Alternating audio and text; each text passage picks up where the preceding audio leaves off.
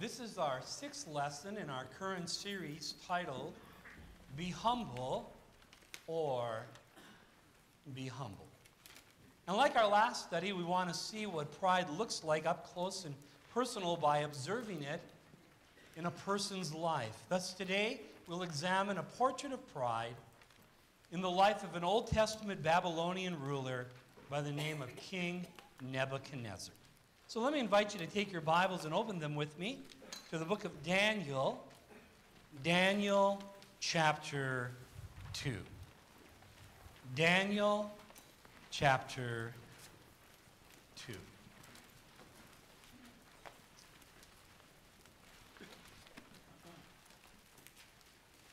Now, complete this sentence with me. The hardest element in presenting someone the gospel is fill in the blank. The hardest element in presenting someone the gospel is fill in the blank. Now, I would personally propose to you that the number one answer for this fill in are the two words getting started.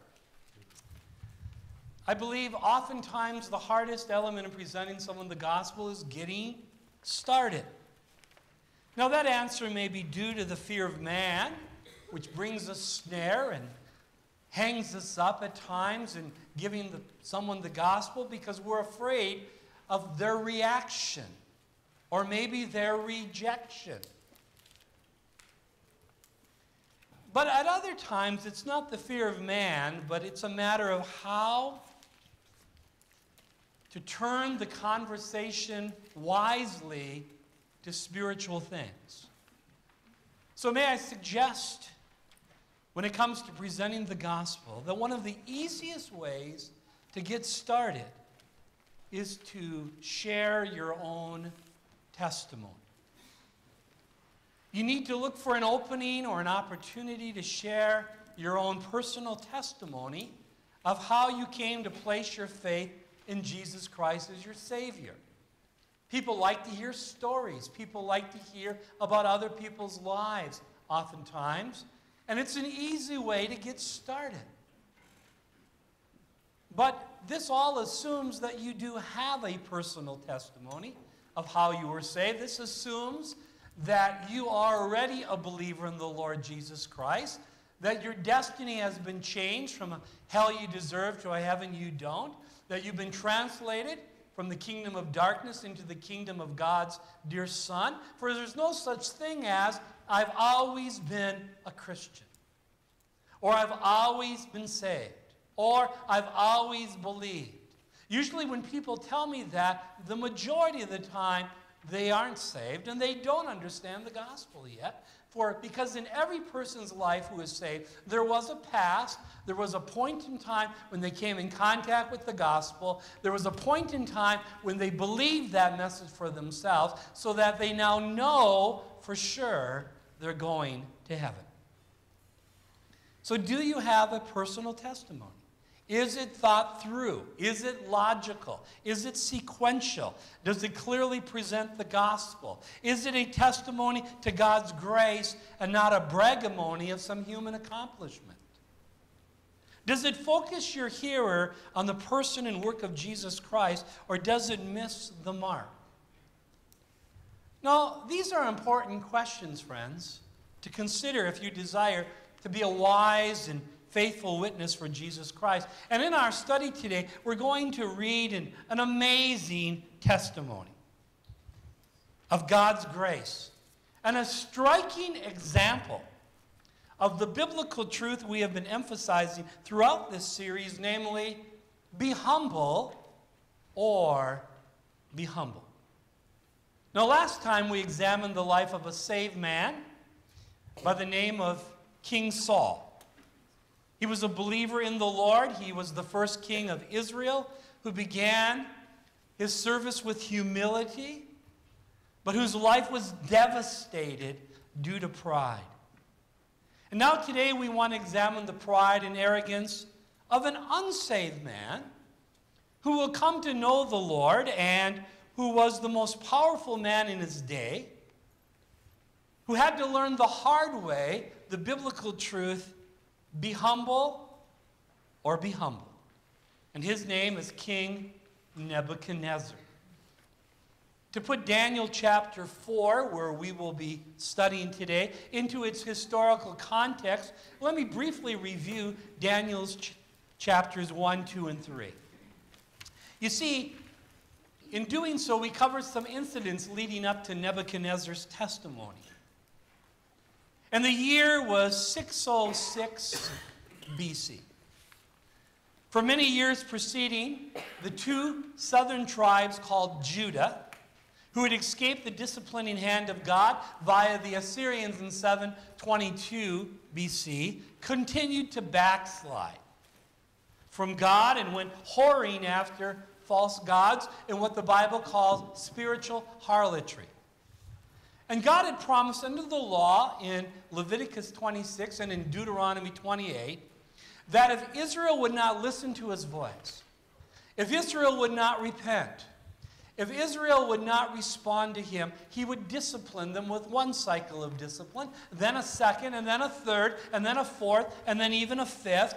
And that fifth cycle of discipline would involve God even using a foreign country to conquer Israel and to disperse them.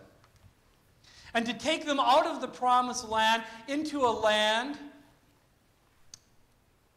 of those who had conquered them. Now, this national dispersion of the Jews out of the promised land actually occurred three times in Israel's history. Do you know that? The first was in 722 BC, with God using the Assyrians to conquer the ten northern tribes, oftentimes called Israel. Then in 606 BC, ending in 586, God used the Babylonians to come in and conquer the two southern tribes, normally referred to as Judah. And then in 70 AD, God used the Romans to come in and conquer all 12 tribes and disperse them throughout the land and now throughout the world so that they didn't even have a nation to call themselves home, as it were, until 48 AD. And until very recently, there were more Jews living outside the land than in the land. So when we pick up the story of Daniel, Babylon has just conquered Israel, and they began deporting from Israel to Babylon young men of royalty, such as Daniel, Meshach, Shadrach, and Abednego. You know, I like to call them Daniel, my shack, your shack, and a bungalow. now, these four Jewish teens knew the Lord. And they also knew the Word of God. And take your hat off to their parents. They had no idea they were going to be conquered. They had no idea they'd be plucked from their home, plucked from their nation, plucked from their culture, plucked from their religious beliefs, and planted in this pagan Gentile area called Babylon. But that's exactly what happened. By the way, parents, if your teen was to be plucked today, how would they fare outside of your guidance, outside of your oversight? Do, would they know how to walk with the Lord? Would they know what the will of God is? Would they have some backbone and conviction? Well, these teenagers did. And they were put to the test right away in Daniel chapter 1. And they not only passed the test with flying colors, but they were promoted in the Babylonian government because of it. And then in Daniel chapter 2, King Nebuchadnezzar has a troubling dream which he demanded that his magicians and astrologers and sorcerers would not only make known to him, because he forgot what it was, but also to interpret it, which they could not, for they were not true prophets of God. But Daniel could, and Daniel did by God's enablement. And Daniel was quick to give God the glory for the fact that God had revealed to him both the dream and the interpretation thereof. And he refused to take the credit. He gave God the glory, for he walked in humility. And so he approaches Nebuchadnezzar And he accurately articulates both the dream and the interpretation to Nebuchadnezzar, who remembered then his dream and affirmed Daniel's accuracy in doing so. Now, what was this dream about? Well, it was about a statue in which God made known the coming times of the Gentile ruling over the nation of Israel. First through Babylon, which was already occurring, then Medio Persia, Greece, Rome, and eventually a revived Roman Empire, which is yet to come. For our purposes, we pick it up in Daniel chapter 2 and verse 36. Daniel 2, verse 36. Daniel says, This is the dream. Now we will tell the interpretation of it before the king. You, O king, are a king of kings. For the God of heaven has given you, notice who gave him? His kingdom, the God of heaven. And not only a kingdom, but power, strength, and glory. And wherever the children of men dwell, or the beasts of the field and the birds of the heaven, he has given them into your hand and has made you ruler over them all. You are this head of gold. But after you shall arise another kingdom inferior to yours, which we will understand later to be the Medo Persia kingdom. And then another, a third ruler of bronze, which shall rule over all the earth, namely Greece. And the fourth kingdom shall be as strong as iron, inasmuch as iron breaks in pieces and shatters everything. And like iron that crushes, that kingdom will break in pieces and crush all the others, namely Rome. Whereas you saw the feet and the toes, partly of potter's clay and partly of iron, the kingdom shall be divided, yet the strength of the iron shall be in it, just as you saw the iron mixed with ceramic clay. And by the way, the truth of these upcoming kingdoms are also set forth in Daniel chapter 7 to reaffirm all of this. Verse 42 And as the toes of the feet were partly of iron and partly of clay, so the kingdom shall be partly strong and partly fragile. As you saw iron mixed with ceramic clay, they shall, will mingle with the seed of men, but they will not adhere to one another, just as iron does not mix with clay. And in the days of these kings, the last set of kings here is ten toes, the God of heaven will set up a kingdom. And we know now this will be when Jesus returns, which shall never be destroyed, and the kingdom shall not be left to one to other people. It shall break in pieces and consume all these kingdoms, and it shall stand forever. Inasmuch as you saw that the stone was cut out of the mountain without hands, and that it broke in pieces the iron and bronze and clay and the silver and the gold, the great God has made known to the king what will come to pass after this. The dream is certain, and its interpretation is sure. And then Nebuchadnezzar fell on his face, prostrate before Daniel, and commanded that they should present an offering and incense to him. The king answered Daniel and said, Now watch this, very important. Truly, your God is the God of gods, the Lord of kings, and a revealer of secrets, since you could reveal this secret. Now, please note, it's your God, though. It's not his God. And you know, he was a polytheist. He would believe in many gods, normal Babylonian religion. And yes, they may even acknowledge another God. We'll add them to the group. But notice, it isn't Nebuchadnezzar's God. He does not know the Lord. He is not a saved man, though he's recognizing Daniel's God at this point. We continue. Verse 48 Then the king promoted Daniel and gave him many great gifts, and he made him ruler over the whole province of Babylon and chief administrator over all the wise men of Babylon. Also, Daniel petitioned the king, and he set Shadrach, Meshach, and Abednego over the affairs of the province of Babylon, but Daniel sat in the gate of the king. And so we see here, again, that God was working out his will to accomplish his objective and actually reveal through a dream what would transpire in history. For, dear friends, don't ever forget history is his story, and God is still on the throne. Now, unfortunately, Nebuchadnezzar, in light of what is said, doesn't give God the glory to his name, doesn't embrace him personally, but instead in chapter 3, we read that he, he builds an idol. A big statue of gold. And by the way, who was the head of gold? Nebuchadnezzar. And therefore, this is probably a statue of Nebuchadnezzar. And unlike Daniel, who gave God the glory and responded in humility, Nebuchadnezzar became arrogant and puffed up. And what did he then do? Verse 1 of chapter 3. Nebuchadnezzar the king made an image of gold whose height was 60 cubits and its width 6 cubits, and he set it up on the plain of Dura in the province of Babylon. And King Nebuchadnezzar sent word to gather together the satraps, the administrators, the governors, the counselors, the treasurers, the judges, the magistrates, and all the officials of the provinces to come to the dedication of the image which King Nebuchadnezzar had set up. And, and so they did.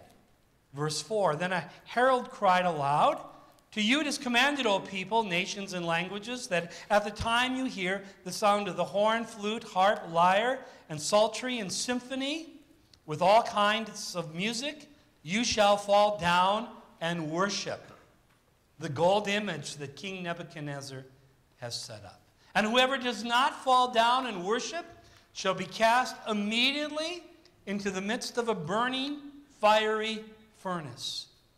So at that time, when all the people heard the sound of all those instruments, all the people, nations, and languages fell down and worshiped the gold image which King Nebuchadnezzar had set up.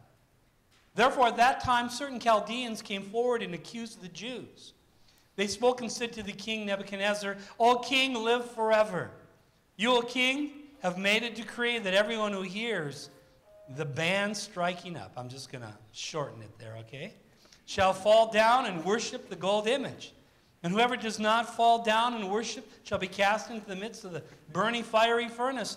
And there are certain Jews who you have set over the affairs of the province of Babylon, Shadrach, Meshach, and Abednego. These men, O king, have not paid due regard to you. They do not serve your gods or worship the gold image which you have set up.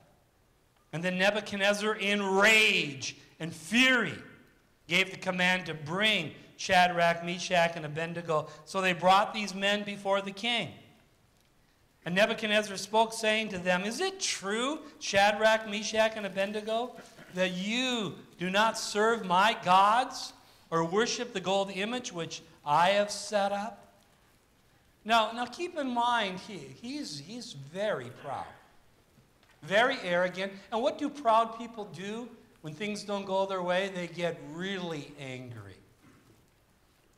And that's exactly what's happening here. And so he threatens, verse 15. Now, if you are ready at the time you hear the sound of the, the band striking up, and, and you fall down and worship the image which I have made, good. But if you do not worship, you shall be cast immediately into the midst of a burning fiery furnace? And who is the God who will deliver you from my hands? Shadrach, Meshach, and Abednego answered, said to the king, and I love this, O Nebuchadnezzar, we have no need to answer you in this matter. If that is the case, you throw us into the fiery furnace. Our God, not his God, our God, whom we serve, is able to deliver us from the burning fiery furnace. And he will deliver us from your hand, O king. But if not, if God does not choose to deliver us, let it be known to you, O king, that we do not serve your gods, nor will we worship the gold image which you have set up. Now, that isn't arrogance, that's conviction.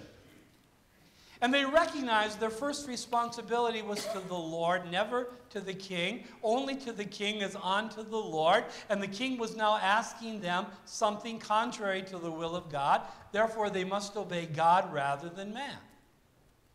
And they were prepared to die to do it. And they knew that God could deliver them if he so chose. But if not, they were not bowing the knee. Now keep in mind that these men were not bowing the knee prior to the music either. It's just that when the music came out and everyone else bowed down, they became obvious. And I would dare say, isn't that what happens in our day? And in fact, as the world keeps bowing down to the thinking of the world, believers who have conviction become more obvious and become more the target, oftentimes, of the wrath of the unsaved and persecution and so forth and so forth. And this is exactly what will happen here. And yet we know the rest of the story that he gets, they get thrown into the fiery furnace, and it's heated seven times hotter than it should have been. And in doing so, as Nebuchadnezzar is looking in, he sees not three, but actually four. One like the Son of God there in the midst. And that these men are not harmed, neither is even a hair on their head singed. Because you see, the Lord had said, I will never leave you nor forsake you. Therefore, we can confidently say, The Lord is my helper. I shall not fear what man shall do unto me. And as a result, Nebuchadnezzar has to acknowledge this. And so we read in verse 28. Nebuchadnezzar spoke, saying, Blessed be the God of Shadrach, Meshach, and Abednego. Notice, Again, it's their God, not his, who sent his angel and delivered his servants who trusted in him. And they have frustrated the king's word and yielded their bodies that they should not serve nor worship any God except their own God. Therefore, I make a decree that any people, nation, or language who speaks anything amiss against the God of Shadrach, Meshach, and Abednego shall be cut in pieces and their houses shall be made an ash heap, because there is no other God who can deliver like this. Then the king promoted Shadrach, Meshach, and Abednego in the province of Babylon. But notice again, it's, it's their God, it's not his God. But in Daniel chapter 4, there is a tremendous transformation that occurs.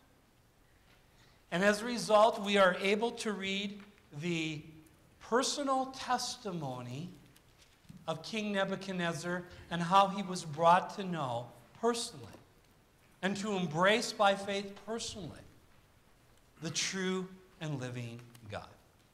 There's an introduction in verses 1 through 3 that we need to read. Nebuchadnezzar the king to all peoples, nations, and languages that dwell in all the earth, peace be multiplied to you. It sounds like one of Paul's epistles here. I thought it good to declare the signs and wonders that the Most High God, notice not your God, but now it's the Most High God, has worked for me. This is a personal testimony. How great are his signs, how mighty his wonders. His kingdom is an everlasting kingdom, and his dominion is from generation to generation. Now, this is an amazing chapter of the scriptures, friends. And remember that it was written by a Babylonian Gentile king by the name of Nebuchadnezzar. If you notice closely, it's I thought. I, Nebuchadnezzar. It's first person singular. So when you're thinking of the writers of Scripture, we usually think of Moses and David and Solomon and Isaiah and Ezekiel and so forth. But make sure to add to the list Nebuchadnezzar. This is his testimony, probably a royal proclamation that was made that was then incorporated by Daniel into Daniel chapter 4. And he's going to tell about his pride. He's going to talk about how the Lord humbled him. He's going to explain how the Lord brought him to understand who he was by faith. And frankly, it's a great testimony to the truth of Scripture. Because who wants to admit they've been arrogant? Who wants to admit they've been proud? Who wants to admit God had to humble them? Who wants to eat crow? Nobody. And then write it down, proclaim it throughout the whole land, and make it part of the Word of God. You know this has to be done by the inspiration of Scripture because by nature we would never want to admit those things. But all Scripture is given by inspiration of God and is profitable, including Daniel chapter 4, written by a Gentile Babylonian king and incorporated into the very Word of God.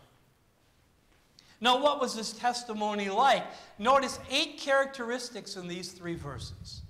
Number one, it was widespread, for he wanted everyone to know it. He says in verse 1 Nebuchadnezzar the king to all peoples, nations, and languages that dwell in all the earth. You see, it is very normal when someone is saved by the grace of God that they want others to know. They're concerned about other people's destinies. When people say they're saved and they have no burden for the lost, something is wrong there. By the way, do you have a burden for the lost? Do you have a desire to share the gospel? And oftentimes, the first place that shows itself is usually with your, your own family. Secondly, this testimony was given in a very respectful way. It was respectful. For he was warm in his greeting. He says, Peace be multiplied to you. Very friendly, very respectful, very polite. No reason to be rude when giving your testimony to others, though your testimony might offend them as you share the gospel with them. Thirdly, we see that this testimony was voluntary, for he was not forced to do this. You see, when it comes to your testimony, it shouldn't be that I have to, but I want to share with others what God has done for me. And what a privilege to witness for Christ, with the love of Christ compelling us, and the burden for the lost, and their eternal destiny driving us. Fourthly, this testimony was personal, for he explained what God had done for him. Notice verse 2 I thought it good to declare the signs and wonders that the Most High God has worked for me. Notice it's personal. And by the way, when you're giving your testimony, it's, it's personal, it's, it's about you and what God has done for you. Now, every testimony has some common components but they also have your own personal elements and events in it. Fifthly, we notice when it comes to this testimony that it was short. For he explains all the highlights in 37 verses. It only takes, you know, 8 to 10 minutes at the most to read. Not all the details, but key truths and events. And when you want to think about presenting your testimony, especially in an informal way, you don't want it to go on for an hour. You want to keep it shorter and to the point and share the highlights. Furthermore, this testimony explains how he came to personally know God and his grace. You see, salvation is, according to John 17, 3, oh, that I may know you, the only true God, and Jesus Christ, whom you have sent. That's what eternal life is all about. And we're going to see how God gets focused in on here and how his grace is magnified. Furthermore, this testimony explains God is sovereign and Savior of all. And that was important for Nebuchadnezzar because he was the king. He was the most powerful person in the universe. And yet his testimony does not exalt self or sin, but exalts God and his grace. There's no way to explain Nebuchadnezzar's testimony but by explaining God and what God did for him. One last observation in this case this testimony was written out so that it could be stated accurately and it could even be preserved. And by the way, this is a great exercise to do. I'd encourage you to write out your testimony and then even practice it so that if you have an opportunity, you'd have some rhyme or reason about how you would present it to someone else. Furthermore, for example, today when we um, get a chance to hear some testimonies of individuals at the water baptism, I always encourage everyone to write it out. Why? Because you get up there, you get stage fright, you, you have brain freeze, and it's usually said better and more accurately, including appropriate scripture, when you take the time to write it out. And so I would encourage you to do the same. You know, many believers don't witness for Jesus Christ because they haven't been trained and prepared to do so. And this is one of the ways to get the conversation started as well as to get to the gospel. No, that is a tremendous introduction. But in doing so, let's now examine the ingredients of Nebuchadnezzar's testimony. What did it consist of? What can we learn from it about God, man, life, and the problem of pride? Well, first of all, we see that he describes some details about his past that triggered a need, providing a context. Some details about his past that triggered a need, providing a context. In Daniel chapter 4, verse 4, he says, I, Nebuchadnezzar, was at rest in my house and flourishing in my palace. I saw a dream which made me afraid, and the thoughts on my bed and the visions of my head troubled me. Now, this was in the latter part of his life.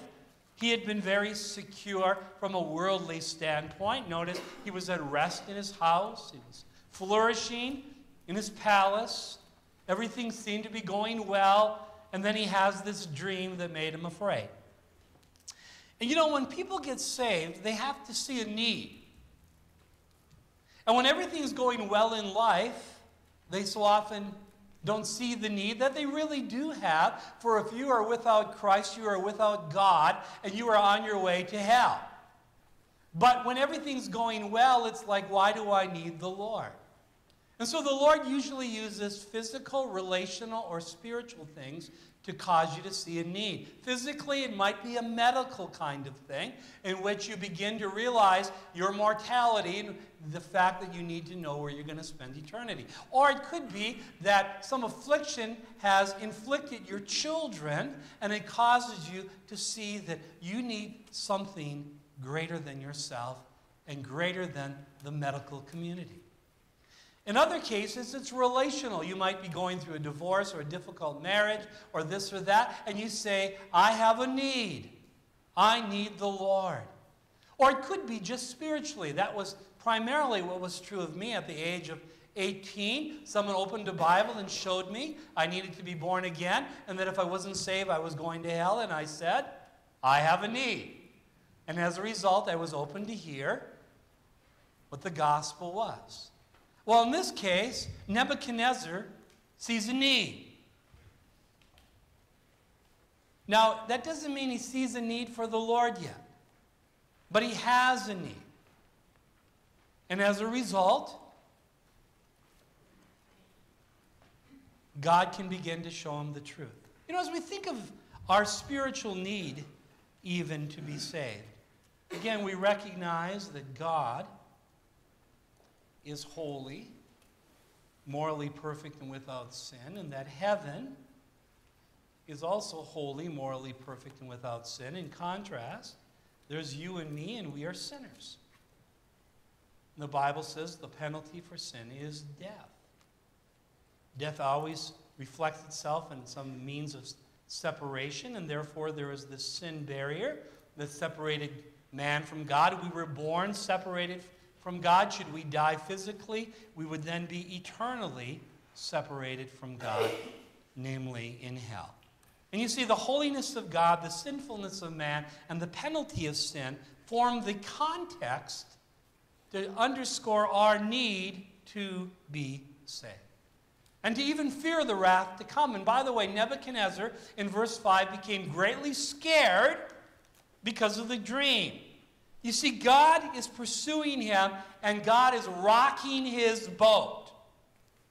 Why is that? Because God is not willing any should perish, He wants all to be saved and come to the knowledge of the truth. And He is the one who initiates this, He's the one who seeks us so that we then will seek Him. Having described some details about his past that triggered a need, Nebuchadnezzar then discusses how he came into contact with God's truth. And we have already seen he used a dream to get his attention. And though I'm not sure he recognized it as God's work, for the natural man normally doesn't, nevertheless, God is going to use it. Verse 6 Therefore, I issued a decree to bring in all the wise men of Babylon before me, that they might make known to me the interpretation of the dream. Now, when someone has a need, they start to turn to things. And because by nature we are spiritually blind, so often we don't even know where to turn.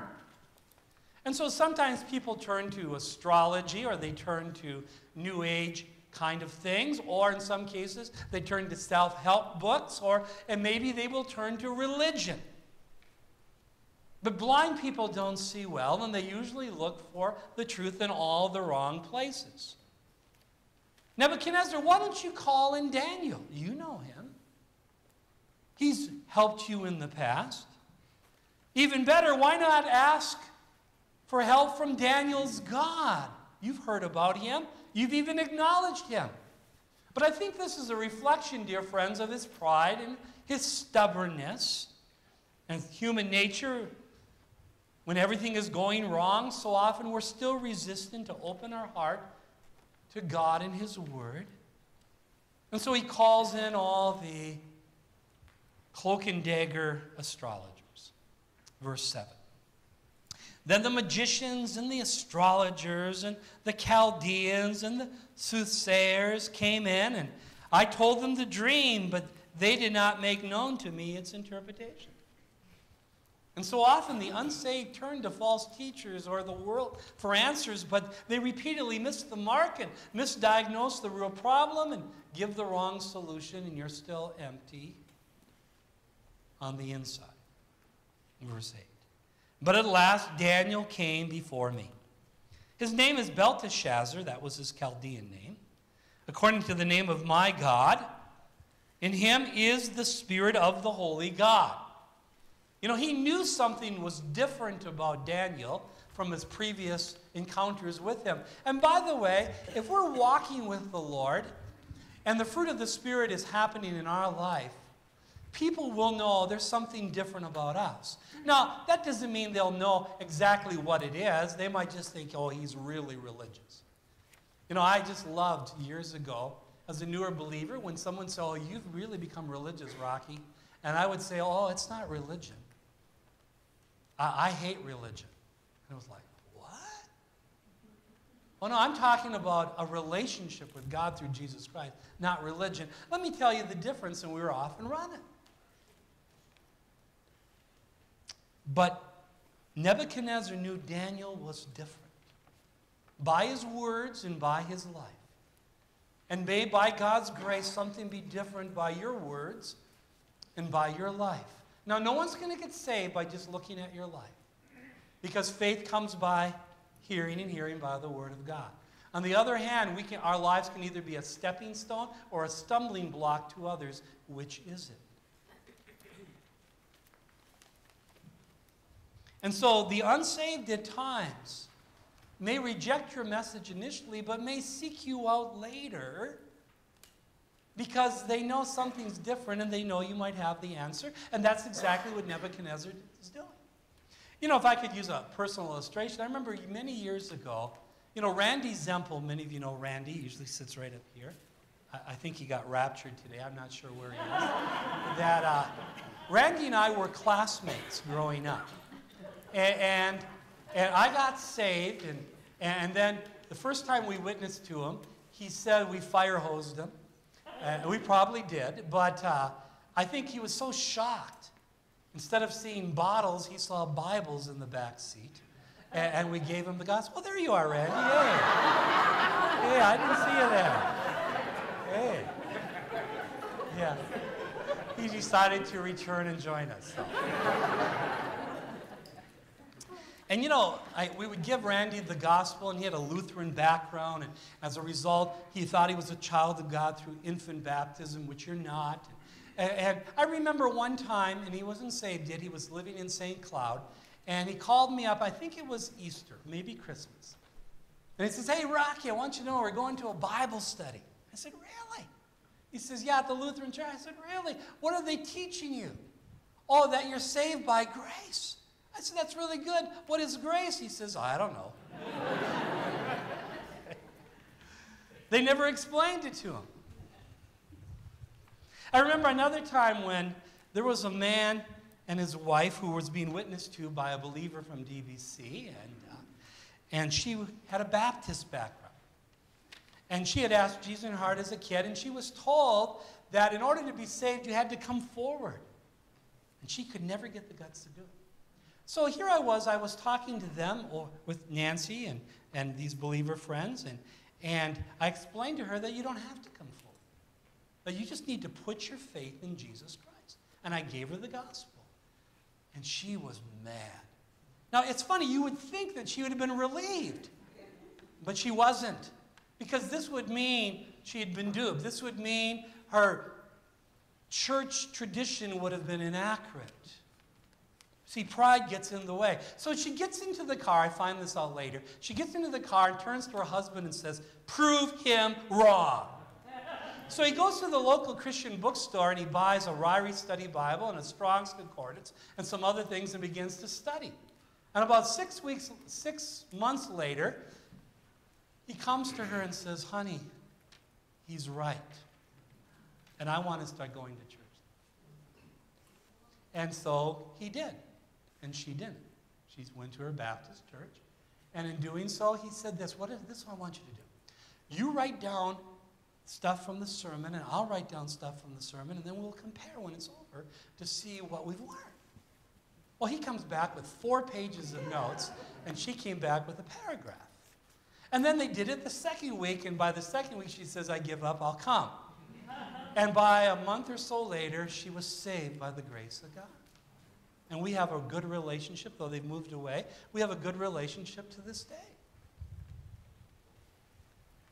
You see, sometimes people uh, reject the message at first, but later will become open. That's why when it comes to fishing, you have to see each time if the fish are biting, because they may or may not. But here we see that God used a believer, namely Daniel, to give Nebuchadnezzar the truth. Thirdly, Nebuchadnezzar now details what truths God sought to convict him about in his life. What are some of the truths that he sought to convict him about? Well, first of all, he explains the content of the dream. In verse 10, we read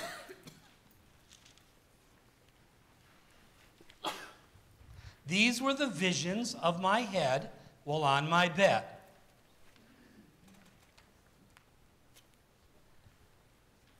I was looking, and behold, a tree in the midst of the earth, and its height was great. The tree grew and became strong. Its height reached to the heavens, and it could be seen to the ends of all the earth. Its leaves were lovely, its fruit abundant, and in it was food for all. The beasts of the field found shade under it. The birds of the heavens dwelt in its branches, and all flesh was fed from it. I saw in the visions of my head while on my bed, and there was a watcher, a holy one, coming down from heaven, which says, This comes from God. He cried aloud and said thus, Chop down the tree, cut off its branches, strip off its leaves, and scatter its fruit. Let the beasts get out from under it, and the birds from its branches. Nevertheless, leave the stump and the roots and the earth bound with a band of iron and bronze. In the tender grass of the field, let it be wet with the dew of heaven, and let him graze with the beasts on the grass of the earth. Let his heart be changed from that of a man. Let him be given the heart of a beast, and let seven times pass over him. Now, that is the content of the dream. Again, it centers around a tree. In the middle of the earth, that's the location. Its height was great, that speaks of its growth. Its coverage was worldwide. And the destiny of the tree would be that it would be cut down, become just a stump. And the stump was to be bound again with a band of iron and bronze, and its heart was to be changed from a man's to a beast until seven times it passed. And if you look closely here, there's a lot of personal pronouns used in reference to that tree. And what was the purpose of the dream? Verse 17. This decision is by the decree of the watchers, and the sentence by the word of the holy ones, in order that, here's the purpose, the living may know that the Most High rules in the kingdom of men and gives it to whomever he will and sets over it the lowest, lowest of men. Now, if you were to summarize this, it's so that the living may know the sovereign grace of God. The God is sovereign, and He even gives kingdoms to the lowest of men, which certainly underscores grace. That's why, at times, even when it comes to certain presidents in the United States, you might ask, How did they get in? Or, man, da da da da da. Just remember that God is still on the throne, and sometimes He gives it to whomever He will and sets over it the lowest of men. God is in control of those kind of. But that's the purpose of the dream. That's the intent. Now, all of this raises the question so, what does this mean? And so, thirdly, he explains the interpretation of the dream in verses 18 through 26. In verse 18, we read, This dream I, King Nebuchadnezzar, have seen. Now, by the way, how would you like to be in Daniel's sandals telling the most powerful man in the earth how God was going to cut him down to size? I mean, Nebuchadnezzar could have his head cut off and he wouldn't even know it till he tried to sneeze. I mean, this would happen fast. This dream I, King Nebuchadnezzar, have seen. Now you, Belshazzar, declare its interpretation, since all the wise men of my kingdoms are not able to make known to me the interpretation, but you are able. Why? Once again, for the Spirit of the Holy God is in you. He says, You've, you've hit the head, the nail on the head. That's the dream I had. Now tell me what it means. Verse 19. Then Daniel, whose name was Belteshazzar, was astonished for a time. Now, astonished means he was blown away. He was like, Whoa, Nelly, you know, here. And his thoughts troubled him.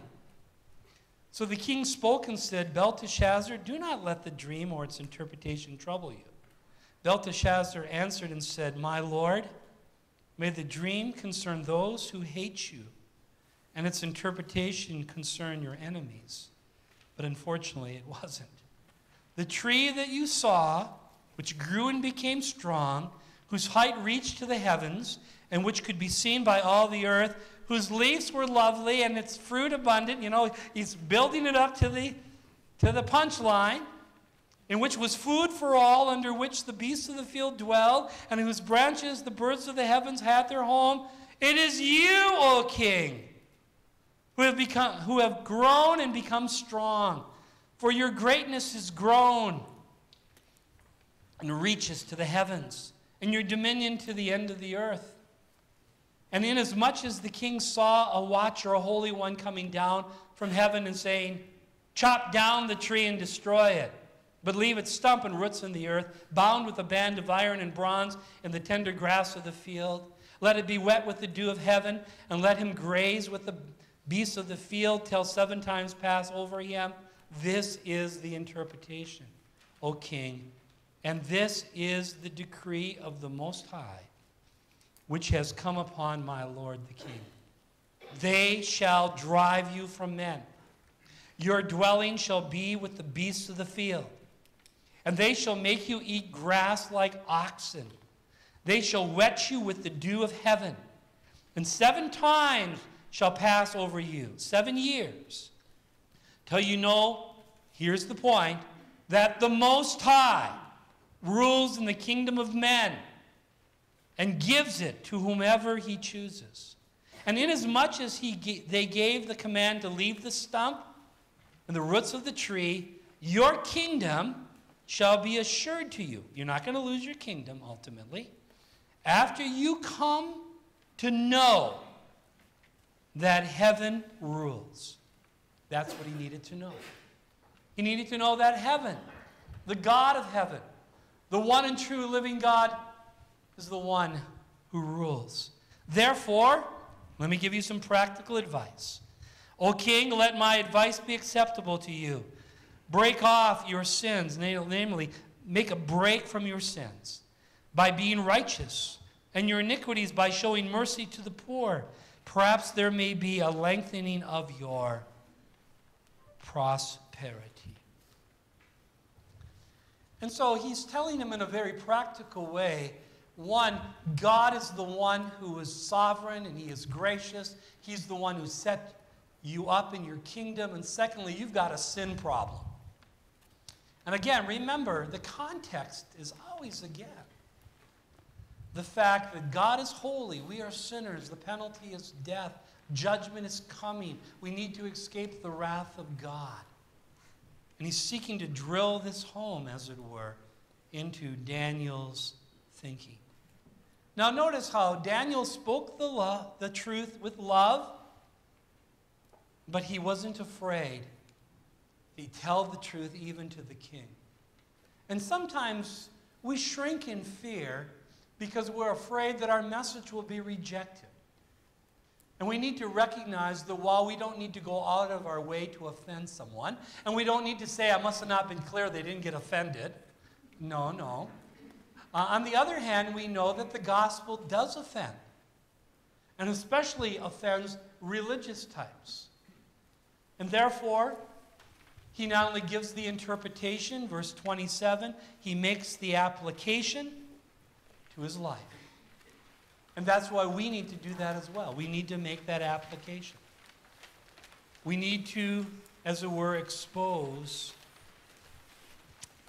and to invite people to come to put their faith in Jesus Christ. And so once you've gone over again the bad news, God is holy.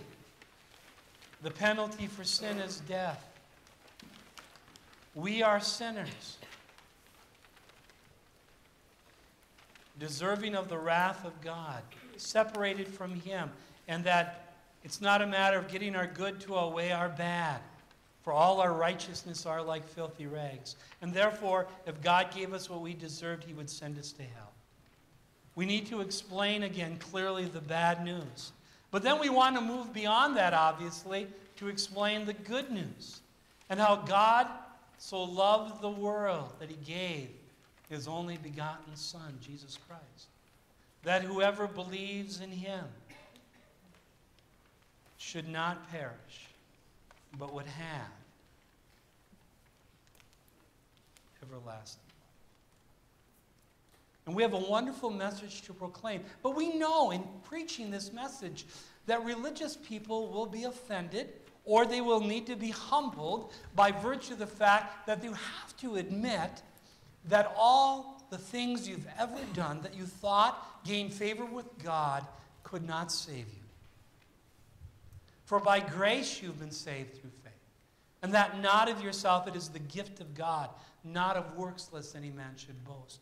And you see, pride is what hinders people from going to heaven. It's pride that causes them to cling to those filthy rags and the human righteousness and their religious works and rituals and their traditions instead of changing their mind and putting their faith in the Lord Jesus Christ. And remember, as a witness, you just proclaim the message. You can't make people believe it, but that doesn't mean you can't invite them to believe it. And one of the easiest ways is just put their name in John 3:16 and ask them if they believe that. If this is now true for them. And so in this testimony Daniel descri- or Nebuchadnezzar describes some details about his past that triggered a need. He discusses how he came in contact with God's truth. He details what truths God sought to convict him about in his life. And then, fourthly, he delineates the events that led to his salvation conversion. He gives us a few details about what brought him, as it were, to his knees and to put his faith in the true and living God.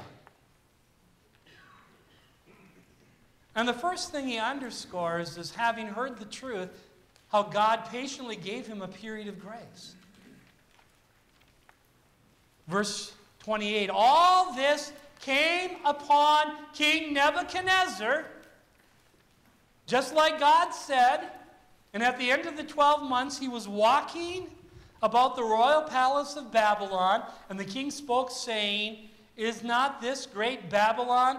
that I have built for a royal dwelling by my mighty power and for the honor of my majesty.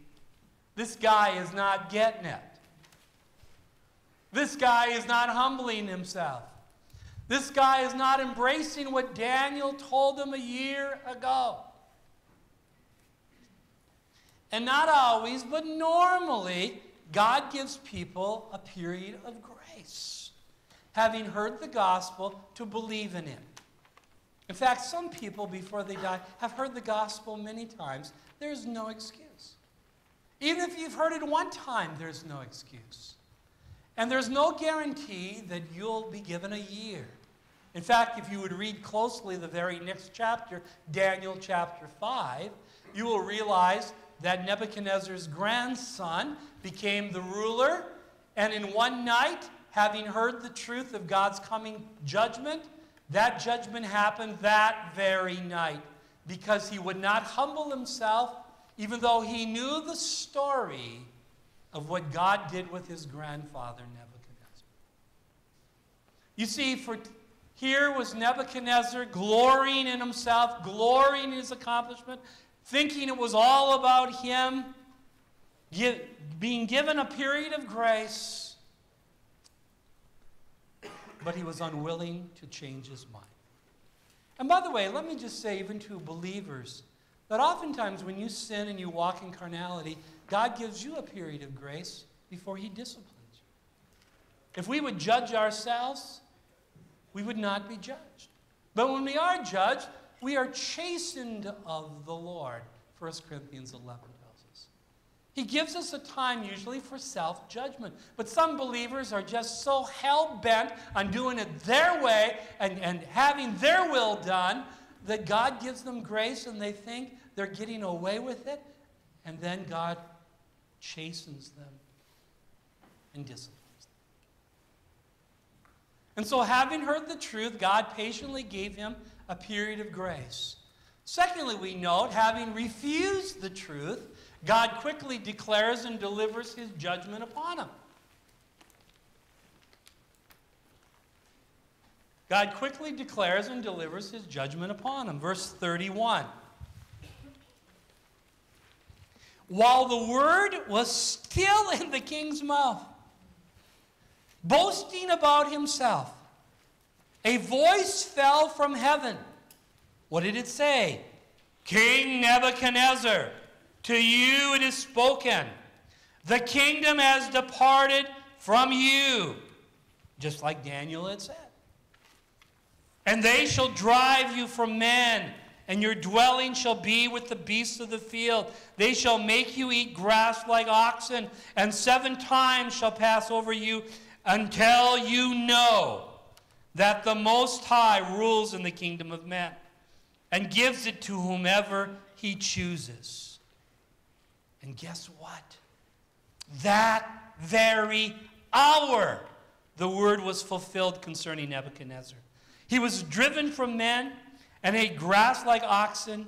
His body was wet with the dew of heaven, till his hair had grown like eagle's feathers, and his nails like birds' claws. Now, this is a pretty incredible result. Now, Renald Showers writes, and I quote, Skeptics have scoffed at the account of Nebuchadnezzar's mental illness in Daniel. They have claimed that it's preposterous to believe that such a thing happened to such a mighty king. However, a Greek writer named Megasthenes, who lived from 312 to 280 BC, related an interesting story that had been told to him by the Chaldeans. According to this story, after he had completed military conquest, Nebuchadnezzar, quote, was possessed by some god or other while on the roof of his palace. The story also talked about a man driven through the desert where wild beasts sought their food, a lonely wanderer among the rocks and ravines. And although this story differed in several respects from the account in Daniel, the similarities were strong enough to have prompted the conclusion that the Chaldean account to Megasthenes was a perversion of what actually happened to Nebuchadnezzar. In addition, it's interesting to note that for four years, Nebuchadnezzar's name disappeared from the historical and governmental records of Babylon. It reappeared for a brief time before the king died. You see, he experiences this, this state. In fact, I believe one writer calls it boanthropy, in which he had beast like condition. He, he was shot, he was eating grass. This guy was insane, as it were. And what was it all due to, friends? His pride, and therefore his unbelief. Be humble or be humbled, and that's exactly what's happening here. So, what's going to turn the story? What made the difference? Verse 34.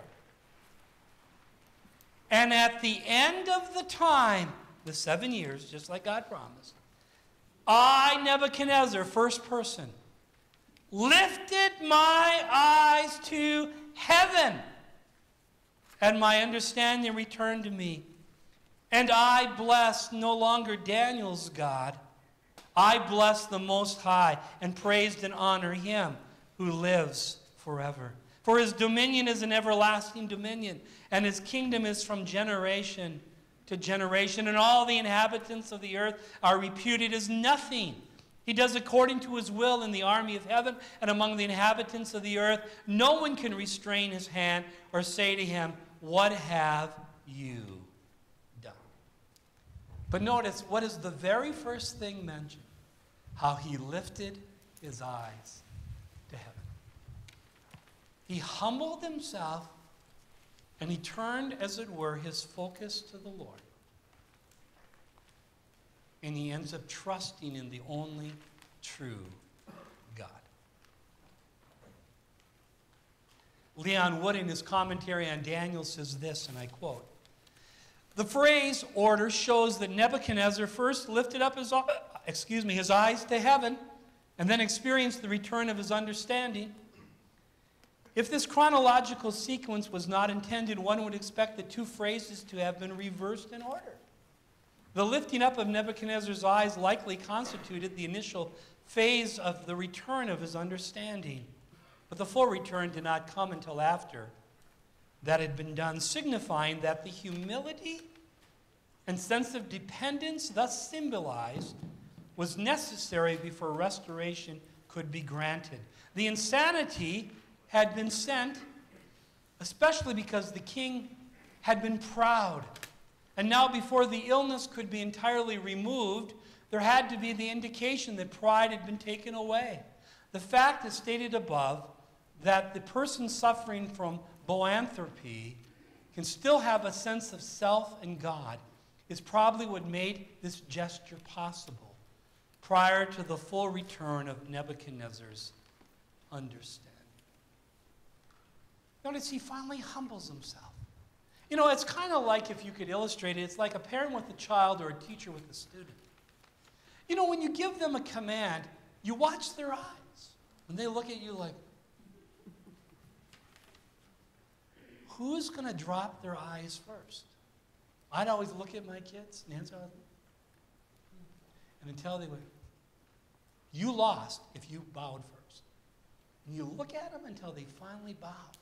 And God says, We're going to let you for seven years act like a beast, live like a beast, be in a state of insanity, as it were, until finally you lift your eyes to heaven. You finally humble yourself and acknowledge the God of heaven. And as you do, then his thinking returned. You know, I don't know how many times I've even heard carnal believers tell me.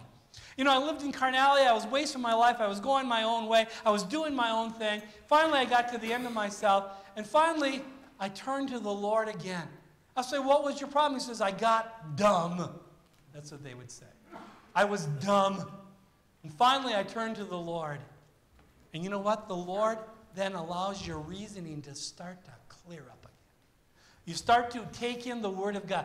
Divine viewpoint starts to replace that human viewpoint. Because when you're not focused on Jesus Christ, dear friends, everything is out of focus. And once you begin to focus there, He begins to clear it up. You know, someone told me yesterday, well, you know, hindsight, it's 2020. And I said to her, well, not necessarily. It might be 2040 yet. Because even in hindsight, we don't always see things as clearly as we ought.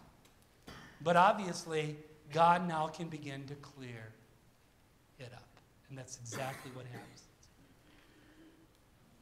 Nebuchadnezzar lifted my eye, Nebuchadnezzar lifted my eyes to heaven, and my understanding returned to me. And you know what? I blessed the Most High, and I praise and honor him who lives forever. Wow. Wow. Wow. You know, as I think of looking to heaven, I think of Isaiah 45 22, where God says, Look unto me and be saved, all the ends of the earth.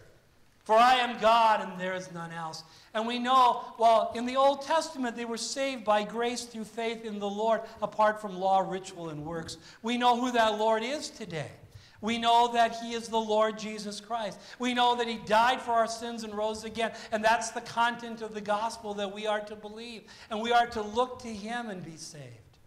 And to be saved by grace through faith, and that not of yourself. It is the gift of God, not of works, lest anyone should boast. And number five, He then declares the results of His salvation conversion how he was lost, how he came in contact with the truth, what truth in particular, what events surrounded all this, and now he declares the results of his salvation conversion.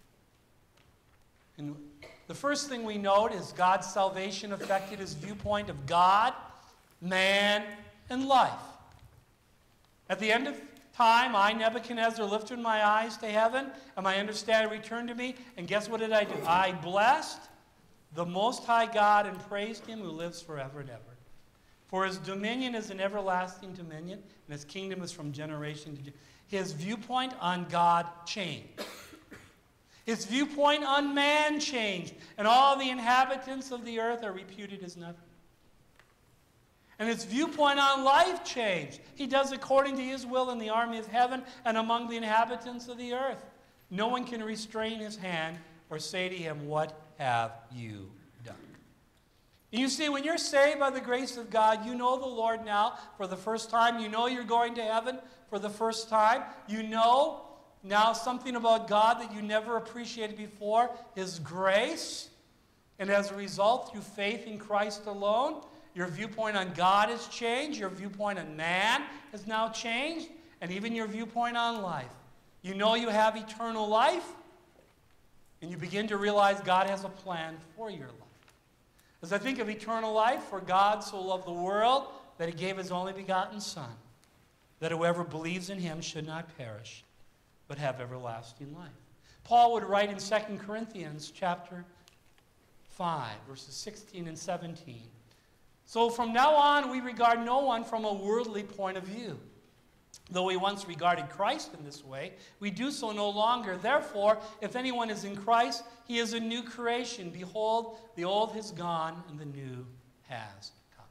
In other words, we begin to view people differently than we did before. Now it's not just my friend, it's the person I'm concerned about where they're going to spend eternity. Now it's no longer my family, it's I'm concerned about their eternal destiny. Either you're in Christ or you're not. But also, by way of result, we see that God's salvation resulted in praise to God and proclamation to man. You see, He's praising God here and he's proclaiming to man the truth. And again, isn't this what happens? That as a result of being saved, you can thank God for saving you, and now you can begin to share with them the message of salvation. But in doing so, you need to be ready. You need to be ready to do that and even trained to do that. And by the way, this Wednesday night, here, we're going to have a training session on how to present the gospel once again so that you can be better equipped to do that. A third result of salvation is he recognizes God's sovereignty, restores his kingdom and honor. We read verse 36 At the same time, my reason returned to me, and for the glory of my kingdom, my honor and splendor returned to me.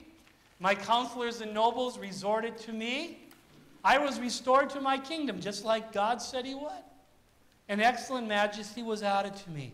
And by the way, you know what we learn from this? Is that God always keeps his promises. This is just what he said would happen. And furthermore, in getting saved, you know what? Potential changes. The potential of that marriage that may be on the rocks can change. A lot of things can change. And you know what? God in his sovereignty says, you know what, Nebuchadnezzar, I'm going to restore you to your kingdom. Now that you remember who I am, now that you know me, now that you recognize what you got came from my grace, so that you can be the kind of king I want you. And that's what God can do in a life. So, in closing, let me make some applications and let's learn some lessons. Number one, do you have a salvation testimony? You see, you have to have a past, you have to have a time when you came in contact with the truth, you understood the truth, you believed the truth, so that you know you're saved. Do you have a salvation testimony? Or are you just religious? Big difference. Question number two Has your salvation resulted in praise to God and testimony to man? Are you praising the Lord each and every day for saving you and what He's done for you? And are you praying and being trained and being willing to learn even how to give out the gospel or share your testimony with others?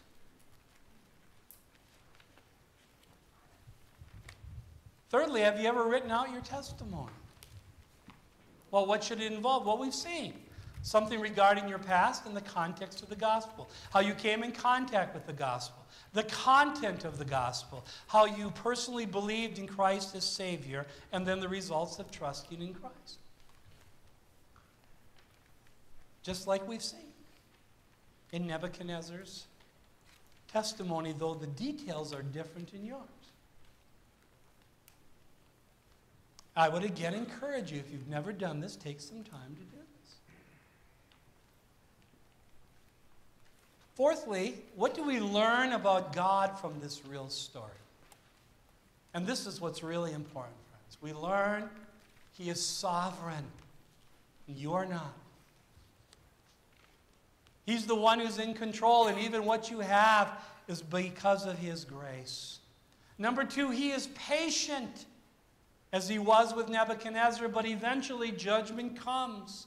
And that's why, if you're here today and you're not saved, don't put off that decision that can change your destiny. For now is the accepted time. Behold, now is the day of salvation. Thirdly, we learn he is gracious and wanting to save you and then use you to glorify himself. And even if you're a believer, you need to remember all that you have is by his grace. And He has a plan for your life, and He wants to use you as an ambassador for Christ. And fourthly, we learn that He is faithful. He always keeps His word. Everything the dream indicates, everything the interpretation communicated, came to pass exactly like God said it would. Exactly like Daniel testified. And God always keeps his promises, friends, whether it's his salvation promises or his Christian life promises. So that is why we need to mix it with it. And lastly, what do we learn about pride from this real story? What do we learn about pride? What a problem it is, isn't it? We learn again the truth we've been learning throughout. But he gives more grace. Therefore, he says, God resists the proud, but gives grace to the humble. But in order to do that, oftentimes he has to humble us in order to give us that grace. So, what are our choices again? Be humble or be humbled. Let's pray. Father, thank you once again for your wonderful grace, this incredible testimony, how you weren't willing that an arrogant, Gentile, Babylonian king would perish. But that you did work in his heart. You used a believer to communicate to him the truth. And by your grace, we're going to see Nebuchadnezzar in heaven. Amazing. And we know he didn't deserve it at all. In fact, they said he was incredibly cruel. And yet, Father, we know we don't deserve to go to heaven either. But because the Lord Jesus died for us and paid for our sins completely and rose from the grave, you have offered and given to us the gift of salvation the moment we turned our eyes towards heaven, the moment we humbled ourselves, as it were, and admitted not by works of righteousness which we have done, but according to your mercy, you alone can save us. So that we trusted in the work of your Son. And now we have great reason for praise. Now we have great reason to proclaim to others the gospel, and we have great reason to believe your promises and see what you now can do in our life that you were wanting, but un, we were unwilling to let you do previously. Thank you for your faithfulness. Thank you for your sovereignty. Thank you for your grace. Thank you for your patience with us. Thank you that you are our God, and there is none like you. We thank you in Jesus' name.